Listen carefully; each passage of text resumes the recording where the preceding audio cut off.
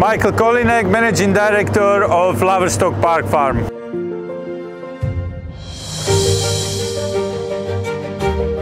Here at Laverstoke Park Farm we're doing the open composting.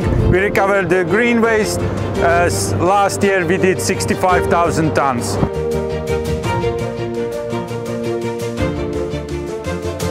We choose Hyundai because of the less fuel consumption, more reliable machine, less breakdowns and more efficient performance.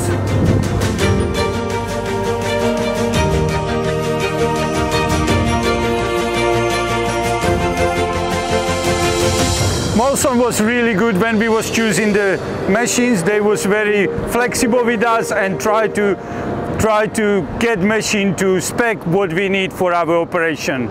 They are very good with the backup and the service and parts.